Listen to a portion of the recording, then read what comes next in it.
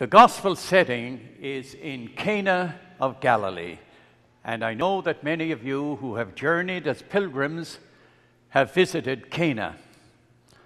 It's about 70 miles north of Jerusalem in the area of Galilee. Has a population of about 20,000, maybe about the size of South Pasadena, a little bit smaller. And there is a very significant Christian community even today in Cana. It appears only in the Gospel of John. Three times Cana is mentioned in John's Gospel. We have the wedding feast, and then in chapter 4, there is a cure. The centurion royal official's son is sick, and Jesus cures him. That happens, he does that at Cana.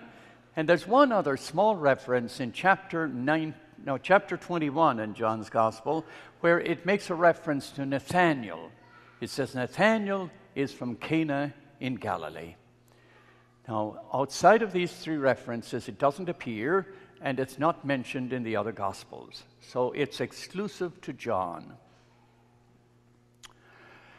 There's a very nice parish church there in Cana, and uh, we visited there many times with pilgrims. And when we go there, uh, we have a wedding feast. I have the, the pilgrims come and we go in the chapel and uh, have the couples renew their vows. And then one or two couples give testimonies about their journey and their marriage and various things about their marriage. And uh, then we have a wedding feast. We go to the vendors are very happy to get you in their shop. They'll give you Cana wine. It's cheap wine. It's, it's not very good wine, but it's, it's Cana wine. And, but they're happy to get you in. They'll give you Cana wine because then you'll buy their goods. So uh, we go to one of the vendors there, known to us, a, a Christian, and uh, he has a little cake. I get flowers for the brides, and uh, it's wonderful. Cana is a very enchanting place.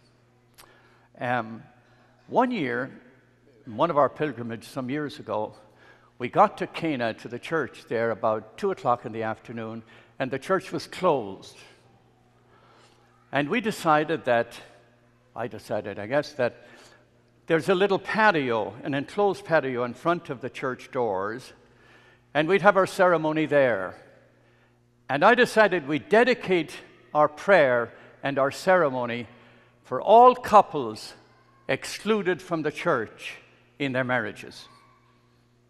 Since the church doors were closed, why don't we dedicate this renewal of vows to all the couples not married in the church, since somehow the church was closed? And the testimonies were uh, marvelous. They were very touching. Everybody in the group somehow had somebody who was excluded from the church in a very holy and blessed marriage. Made us wonder about what makes a marriage holy. Do I make the marriage holy because I presided it? How do you, how do you see sacrament and holiness in a marriage? Um, in 1563, almost the last document of the Council of Trent, it, it's written in November 11th, because it's very defining and easy to remember. It was called Tametsi, which is the first word of the document. It doesn't have any great significance for the substance of the document. It had to do with a number of things, but especially with marriage and regulations about marriage and what's necessary and all the things that are required for sacramental presence in marriage. Before that, it was very confusing. Various disciplines and various uh, liturgies of marriage uh, were very commonplace, and this collected uh, all of these various traditions into one and said, This is the way it must be. And anybody who objects to this, let them be anathema, which means you're out. Um, it's very, and it spawned a huge body of legal uh, requirements uh, to somehow have the church accept a marriage as sacramental and as valid. Now, of course, with the synod that came up um, recently in Rome, there's a whole discussion about marriage and what's how is a marriage holy and how we should include people in the community of faith, even though they may not uh, meet all the requirements of Tametsi and its subsequent upgrading. It also prompts us to face a reality, which is same sex marriage, which is, is commonplace now and is socially uh, acceptable and somehow, how the church is going to relate to this. We have persons in this community who are involved in same sex marriage. And the question is is there a place in our hearts for these people? Do they belong to us or don't they belong to us? Is there a place in the community of faith for them? And how do we somehow include them in a community of prayer and a community where, which is Christ centered. Now, before you answer the question, let me look at the teaching of the sign at Cana in Galilee. As you know, in the Gospel of John, he, doesn't, he never mentions miracles. He has seven signs. And they said, This is the first of the signs that Jesus does and uh, the second will also be at Cana in chapter 4. And then we have signs like he'll calm the waters and feed the multitude and cure the blind man. And the last sign is in chapter 11, where he will raise Lazarus from the dead.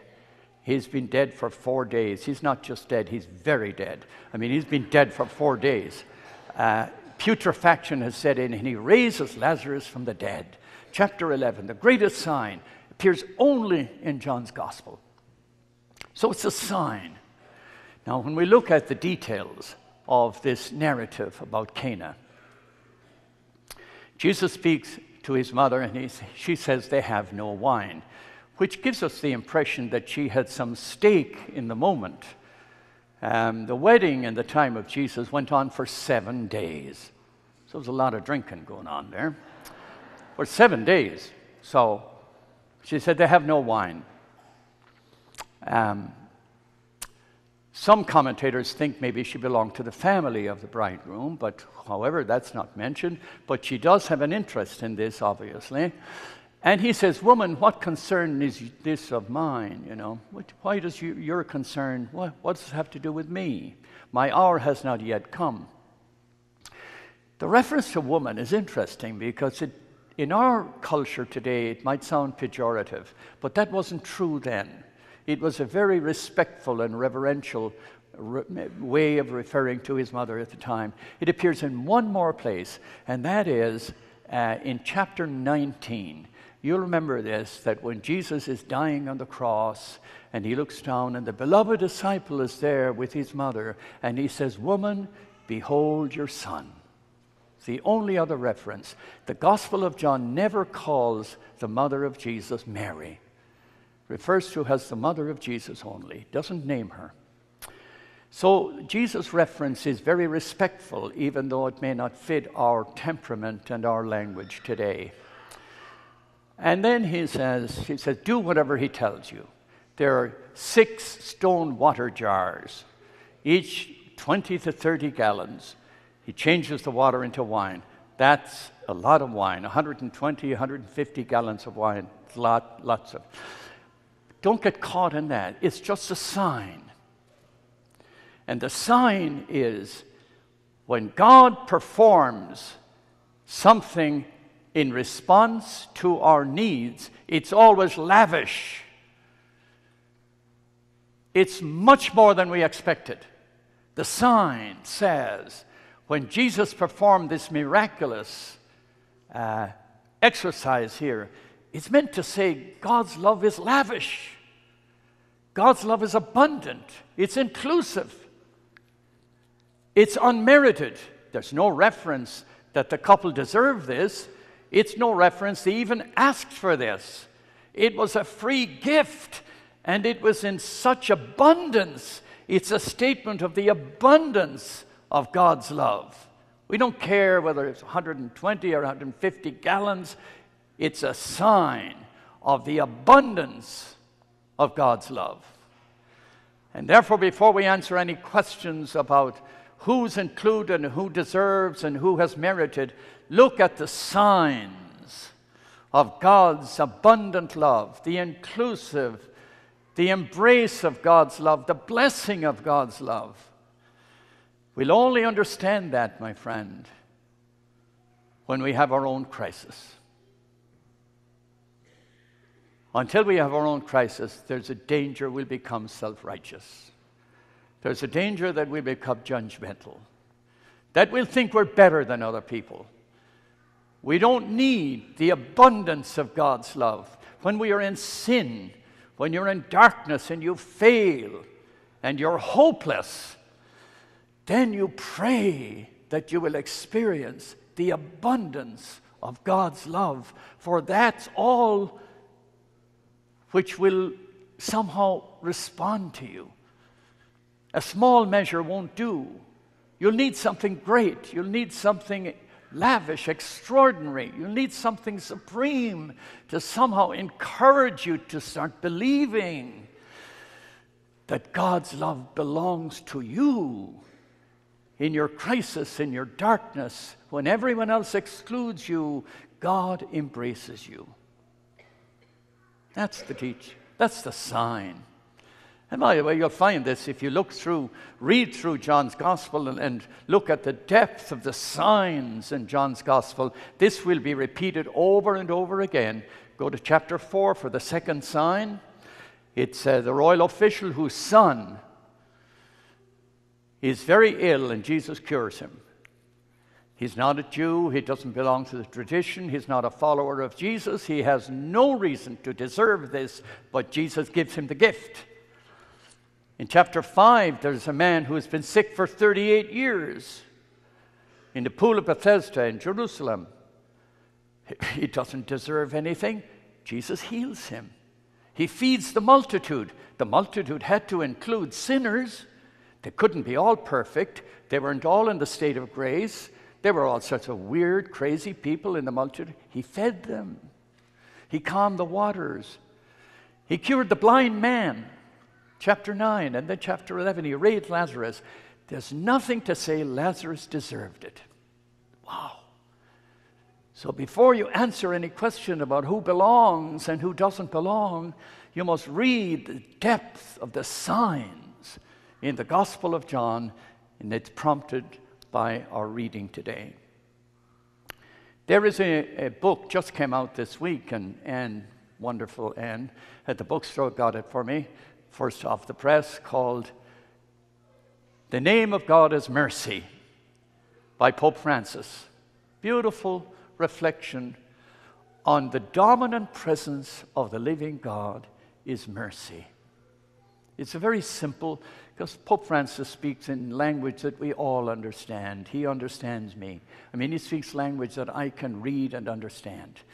And again, it touches on the theme coming out of this gospel the name of God is mercy, and the name of the sign is infinite love. Amen.